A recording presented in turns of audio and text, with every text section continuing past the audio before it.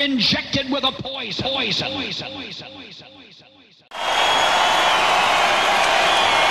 This one's uh, for the true fans out there, baby.